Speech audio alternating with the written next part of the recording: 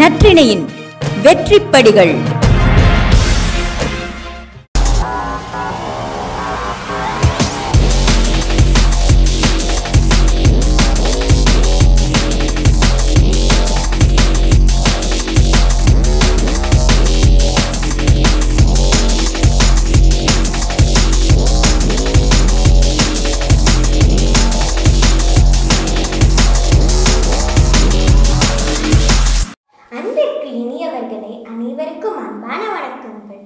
அரிது அரிது மானிடராய் பிறத்தல் அரிது அதனினும் அரிது மனித தன்மையுடன் மனிதன் வாழ்வது.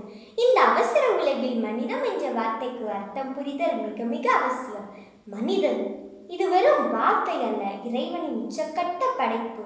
வரம்பில்லா வலிமை பெற்ற மனிதன் மனிதம் என்னும் மகுடத்தை சூடினால் மட்டுமே வைரமாய் மிளிர்கிறான் மனிதம் என்றவுடன் நம் நினைவிற்கு வருவது நம்மில் பலரும் இதுவரை நேரில் கூட கண்டிராத? அன்னை தெரேசாவும் நெல்சன் மண்டேலாவும் ஹெலன் கெல்லரும் போன்ற சான்றோர்கள் தான் மனிதம் என்பது என்ன?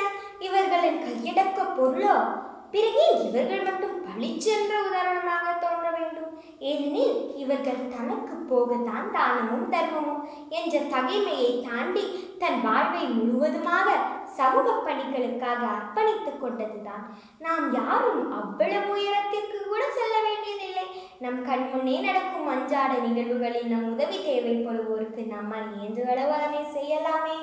ஒருவன் ரோட்டில் அடிபட்டு கிடக்கும் போது அதனை பார்த்து உடனே ஆம்புலன்ஸுக்கு ஃபோன் செய்து அவரை மருத்துவமனை கொண்டு சென்று சேர்த்தால் அந்த மனிதம் வாழ்கின்றது. உறவுகளையும் உணர்வுகளையும் உயர்வாக கருதி வைத்த உன்னத நிலை உருப்பெறாமல் போய்விட்டது இன்று பாசமும் பரிவும் பணத்தின் பின்னால் பயணப்படுகிறது.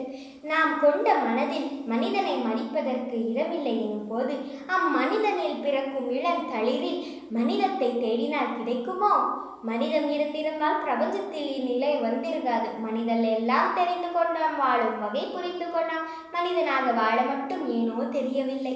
சூரியன் மலை காடு கூட இன்னும் மனிதம் மறக்கவில்லை. மனிதன் தான் மலை மறந்தான் காடு மறந்தான் மனிதமும் மறந்தான். இறைவன் படைத்த படைப்புகள் அனைத்தும் தனக்கென்று வாழ்வதில்லை. ஒவ்வொன்றும் பிறவற்றிற்காகவே வாழ்கின்றன. ஒளிரும் சூரியன் தன் ஒளி கதிர்களை தனக்கென்று வைத்துக் கொள்ளாமல் பிற உயிர்களுக்கே அளிக்கிறது.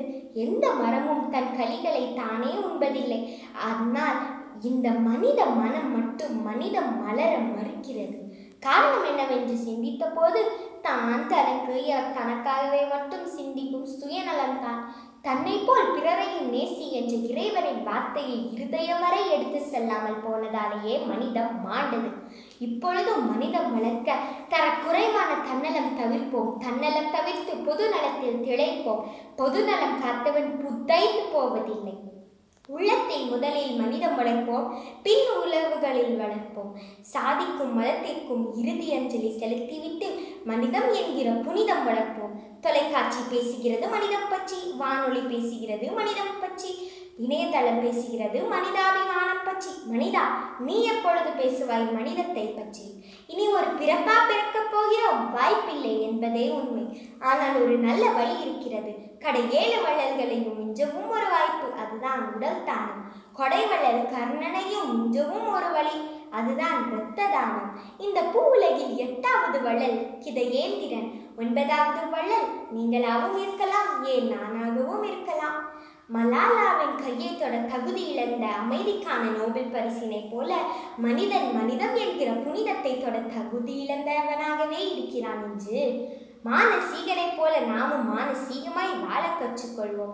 கலில் கிப்ரான் சொன்னதைப் போல உங்கள் கூடாரங்கள் பிரிந்திருக்கட்டும் ஆனால் உங்கள் இதயங்கள் சேர்ந்திருக்கட்டும்.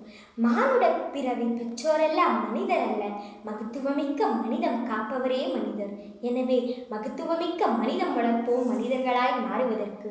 நாளை உலகின் நம்பிக்கை நட்சத்திரங்களாய் நம் இளைய தலைமுறைக்கு நிதம் காக்கும் மிகப்பெரிய கடமை உள்ளது. நாம் வாழும் உலகம் சிறியது ஆனால் நமது எண்ணங்கள் உயர்ந்ததாய் பறந்து விரிந்ததாய் எல்லைகளை கடந்ததாய் இருக்கட்டும். மனிதனை உள்ள மக்களாய் இந்த தலைமுறை மலரட்டும்.